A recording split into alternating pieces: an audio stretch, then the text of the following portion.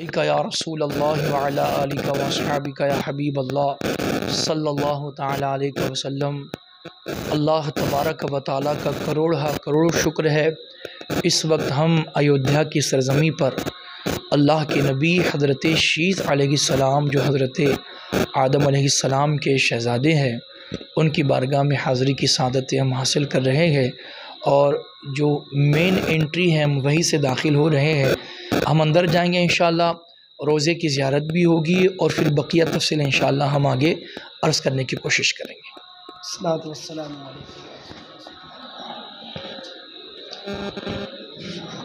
अल्लाह के नबी की बारगाह में हाज़िर हो रहे बहुत बड़ी बात है बड़ी सआदत की ये बात है।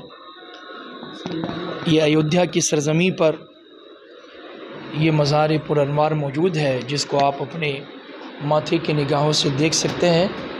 इन हम इसकी आपको ज़्यारत कराते हैं मरहबा या मुस्तफ़ा सल्लल्लाहु अलैहि वसल्लम सल्लल्लाहु अलैहि वसल्लम मरहबा या मुस्तफ़ा सल्लल्लाहु अलैहि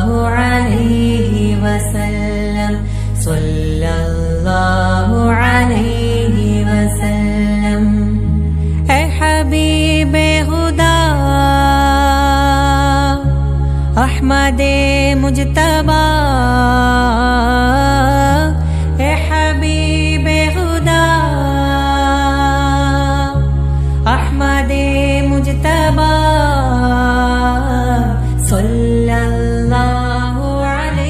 इंशाल्लाह इस वक्त यहाँ पर हम मौजूद हैं और इस बारगाह में एक शख्सियत भी मौजूद है जिनका इसम शरीफ भी इंशाल्लाह वो आपको बताएँगे और रोज़े से मुतालिक तफसीलात भी इंशाल्लाह आपको बताएँगे। लिहाजा आप समात करें और अपनी मालूम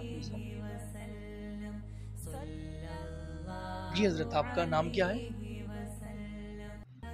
सैयद आसिफ में फिरदौसी।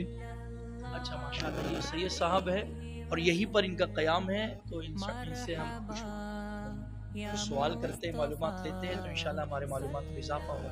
हज़रत इस रोज़े के बारे में क्या आप फरमाते हैं? हज़रत आदम सलाम के तीसरे साहबजादे। तीसरे साहबजादे। जी हज़रत शीस सलाम की मज़ार है। और तकरीबन एक दो किताबें हैं तकरीबन एक सौ पैंसठ किताबों में ये हवाले मौजूद हैं। और जितनी भी किताबें आप उठाएँगे कोई ऐसी किताब नहीं जिसमें और जगह के साथ साथ अयोध्या का तस्करा ना हो। जी। हाँ। तो कसरत के साथ अयोध्या ही में आपकी मज़ार का होना बताया गया है। अच्छा हाँ। और इस मज़ार की तामीर सुल्तान सिकंदर लोदी ने अपने अहद में करवाया था। हम्म। सुल्तान सिकंदर लोदी हज़रत बाबा बहाउद्दीन जकरिया मुल्तानी के भांजे हैं। हज़रत जलालुद्दीन सोहरवर्दी जिनसे वो मुरीद थे। अच्छा। तो हज़रत से दुआ के लिए दरख्वास्त किया था। हिंदुस्तान का कोई खत्ता है, फ़तेह नहीं हो पा रहा था। तो हज़रत ने कहा था कि मैं दुआ करूँगा, लेकिन फ़तेह याब होने के बाद उस आस्थाने की आपको तामीर करनी होगी। तो आपने यहीं पे दुआ किया था। और अल्लाह तबारक ताली ने अपने महबूब नबी के सदक़े में उस दुआ को कबूल किया था। फिर सुल्तान सिकंदर लोदी सवा दो महीने यहाँ रुक करके उन्होंने इस आस्थान पाक की तामीर करवाई अच्छा जो अहाता है बाहर उसकी भी थोड़ी सी तफसीत आप बता दें मालूम इस कंपाउंड के अंदर जितनी भी मज़ारें हैं जी। वह शी सलाम के खानवादे ही की मज़ार है। अच्छा। और जो सामने गुजरा नज़र आ रहा है उसमें आपकी अहलिया। अच्छा। हम्म। जी बोल बोलते अहलिया की मज़ार है और बाउंड्री के जस्ट पीछे। जी जी। बीबी सैदा जाहिदा जो हज़रत इमाम हुसैन के खानवादे से ताल्लुक़ है अच्छा। ईरान की शहज़ादी थी। अच्छा। आप ज़्यारत के लिए आई थी पूरे लश्कर को आपने वापस भेज दिया था लेकिन आप यहीं पर रुक गई थी। आप जब यहाँ से बाहर निकलेंगे तो जहाँ पे वज़ू खाना है जस्ट वज़ू खाने के ऊपर सुल्तान सिकंदर लोदी के पीर हज़रत जलालुद्दीन सोहरवर्दी की मज़ार है। हाँ जो सिलसिले नक्शबंदिया के भी बुज़ुर्ग हैं और जब गेट पे आप पहुँचेंगे तो राइट साइड में गुंबद वाली मज़ार है। वो हज़रत सैयद नज़ीर कादरी बगदादी की मज़ार है जो सरकारी गौस आज़म के खलीफा हैं। सरकारी गौस अज़म ने उन्हें हिंदुस्तान भेजा था और ख़ासकर इस मज़ार की ज्यारत के लिए भेजा था। लेकिन आप यहाँ से वापस नहीं गए। आपके आसानी से लगा हुआ तकरीबन साठ बिघे कब्रस्तान है जो हिंदुस्तान का सबसे कदीमी कब्रस्तान है जो तकरीबन एक हज़ार साल पुराना बताया जाता है। अच्छा अच्छा, जी और इसके अंदर जब आप झाड़ियों में घुसेंगे तो कई कई सौ साल के खानवादे बने हुए हैं खानकाहें बनी हुई हैं तैनाती मस्जिदें बनी हुई हैं जो बादशाह हज़रत अपने वज़ीरों की इबादत के लिए बनवाते थे। और ये अयोध्या जो है अगर एक हिसाब से देखा जाए तो मुसलमानों का ये मरकज़ रह चुका है। बेशक बेशक। तालीमी तौर पे भी अच्छा, और इस अयोध्या को सुन्नी हाँ। बुज़ुर्गों ने मदीनतुल औलिया लिखा है वलियों का शहर। तो बड़ी तारीख़ी सरज़मीन है। इसी अयोध्या में ख्वाजा नसीरुद्दीन चिराग दहलवी पैदा हुए हैं। अच्छा। इसी अयोध्या की सरजमीन पर हज़रत ख्वाजा नसीरुद्दीन की सगी बहन हज़रत बड़ी बी रहमा जो यतीम खाने के अंदर मज़ार है जी। उनकी मज़ार है। हज़रत मखदूम अशरफ के जो सबसे पहले खलीफा होते हैं उनकी मज़ार अयोध्या में है। अच्छा। हज़रत मखदूम अशरफ जहाँ की सिमनानी हज़रत मखदूम अब्दुल हक ने हाँ, अयोध्या में चिल्ला किया है। अच्छा। वो मखदूम घाट आज भी मौजूद है। मखदूम घाट यही है राम की पैड़ी के पास। अच्छा। जगह राम घाट मखदूम घाट से मशहूरी है। अच्छा अच्छा। यहाँ पे एक और बुज़ुर्ग हैं जिनकी दुआ से हज़रत मखदूम अशरफ पैदा हुए थे। हज़रत इब्राहिम मजदूब ताशकंदी अच्छा यही हाँ? जो ताशकंद के बादशाह थे जिन्होंने जी है?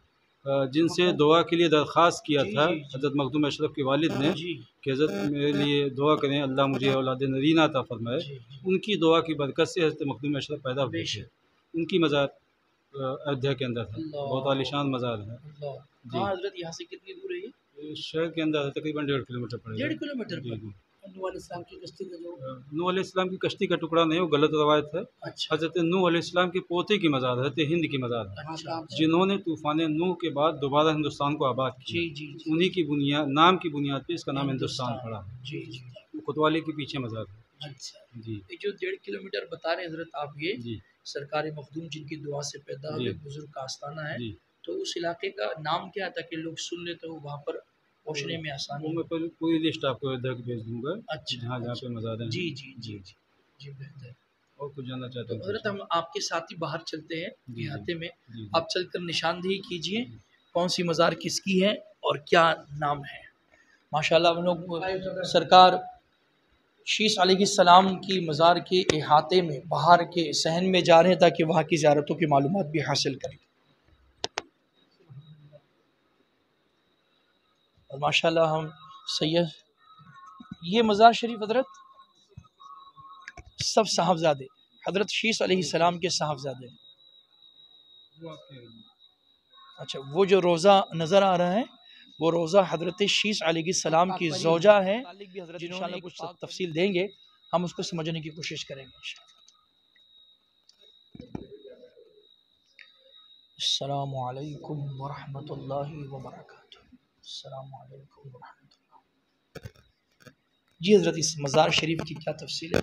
इस मज़ार के बारे में जो हमारे बुज़ुर्गों ने सुल्तान सिकंदर लोदी ने जिस ख़ानदान को चौदह सौ बीघे ज़मींदारी के साथ साथ इस आसानी की देखभाल के ज़िम्मा सौंपा था तो हमने अपने बुज़ुर्गों से सुन रखा है इस मज़ार के बारे में कि यहाँ पे जो भी दुआएँ की जाएँ। अल्लाह तबारक व तआला उस दुआ को कबूल करता है।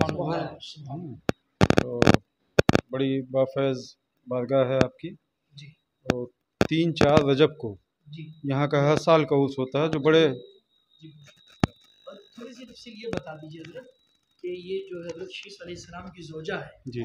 तो क्या ये परी थी? परी की मज़ार है? दो रवायतें मिलती हैं। अच्छा। एक रवायत तो ये है कि हज़रत हवा से हाँ बैक वक्त एक लड़की और एक लड़का। हम्म, वो पैदा होते थे और दूस दोबारा जो लड़के और लड़के होते थे उन्हीं एक दूसरे से शादी होती थी। लेकिन हज़रत शीस अलैहिस्सलाम के साथ ऐसा नहीं हुआ। भाई बहन की शादी हज़रत शीस अलैहिस्सलाम ही के बाद से बंद हो गई। जी जी। उनके बारे में एक रवायत मिलती है कि अल्लाह तबारक ने हज़रत आदम सलाम को तो ये ख़बर किया हज़रत जबरील के ज़रिए कि आपको घबराने की ज़रूरत नहीं है। मैं जन्नत से एक हूर भेजता हूँ उसके साथ में हज़रत शीस की शादी होगी जी यानी कि जन्नती हूर है। जी जन्नती हूर। माशा जी जी। इसलिए इनके बारे में कहा जाता है कि हूर पे तो मौत आ नहीं सकती है। जी जी। तो ये उनके बैठने की जगह बताई जाती है और मशहूर ये है। माशाल्लाह।